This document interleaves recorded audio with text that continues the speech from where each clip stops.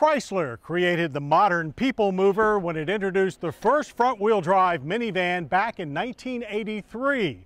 Since then, the minivan segment has become one of the most competitive in the auto industry as models like this new Dodge Caravan fight to offer family buyers the latest in versatility and convenience. And a Chrysler group that means the new stow and go seating system. What's that you don't know about stow and go? Well, watch and learn.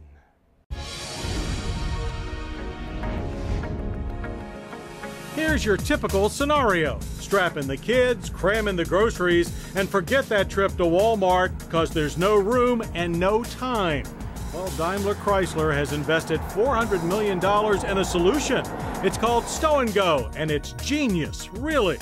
The Stow and Go system allows all of the seats in the back, that's right, both third and second rows, to fold out of sight into the floor.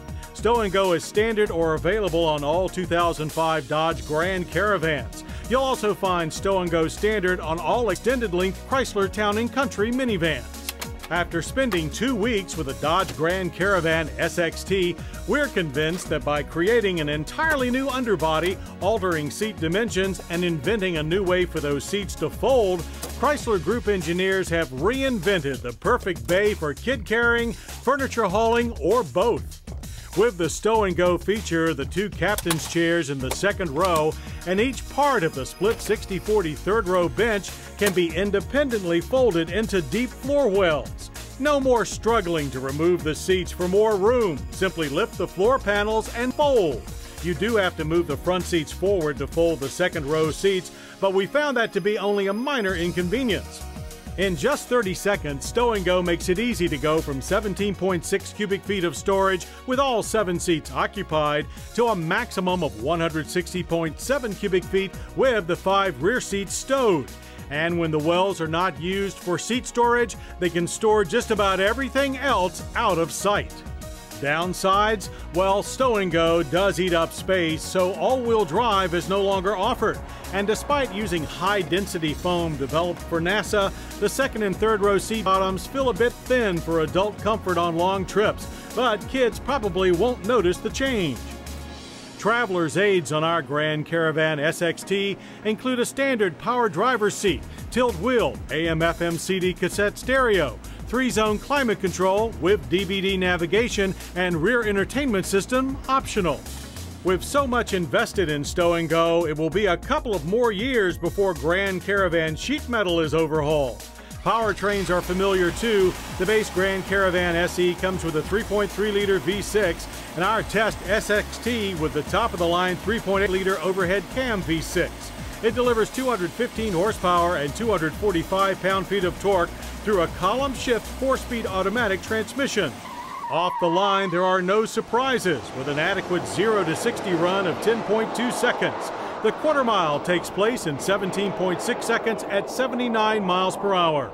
Handling too is familiar. Dodge fits Grand Caravan with very soft springs to help compensate for the solid rear axle on truck-like leaf springs. Slowly pushing through the cones, our drivers experience copious front-wheel drive understeer. Steering is light and quick, but feedback gets lost in the suspension and tires. The van tended to throw its weight around, resulting in a lot of body roll. Braking is by way of Grand Caravan standard ABS four-wheel disc brakes, which stopped our SXT from 60 in a longish average of 140 feet. Even with little pedal feel, the system works well enough, stops were straight and sure, but the soft springs contributed to much more nosedive than we like. The leaf springs also don't allow for class-leading ride quality on rough roads, although most families will find it to be acceptable. The Grand Caravan was easy on the ears, however, using new quiet steel technology to significantly reduce road noise. EPA mileage estimates are typical for a minivan, 18 city and 25 highway on regular grade gas. Our test loop average was 20 miles per gallon. So, how much to break in your own stow and go? Well, the Grand Caravan SE with optional stow and go starts at $23,130.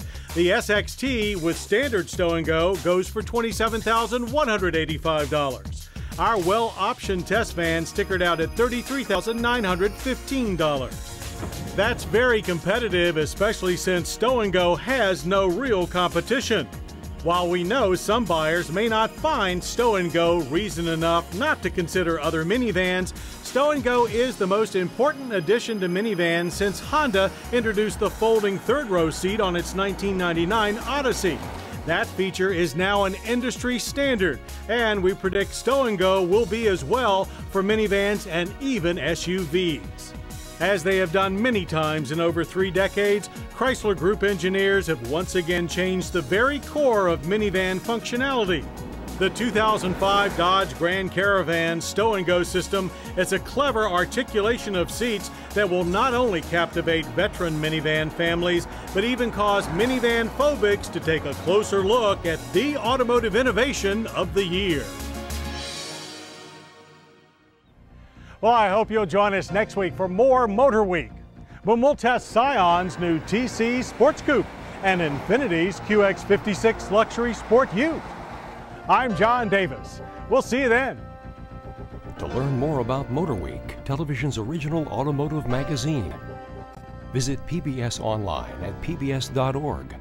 MotorWeek has been brought to you by The Stanley Works, makers of professional grade mechanics and automotive tools. Stanley, proud to support public television. Stanley, make something great. Information available at www.stanleytools.com. To order a video cassette of this program, call 1 800 873 6154.